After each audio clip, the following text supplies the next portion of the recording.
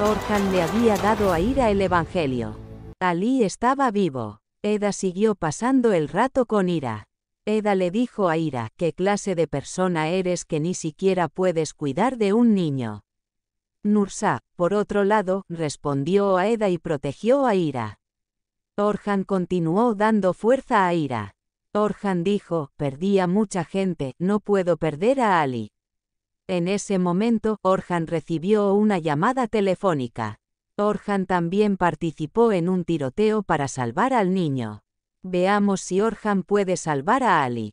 No olvides seguir y darle me gusta al vídeo para más videos en este estilo. Gracias por ver.